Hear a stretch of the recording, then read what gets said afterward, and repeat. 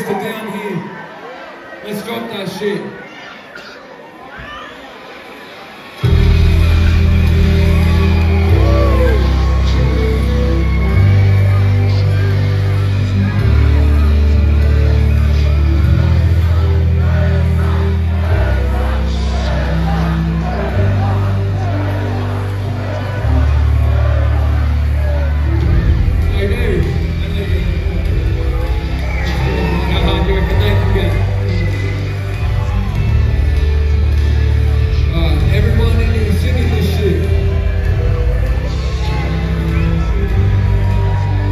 You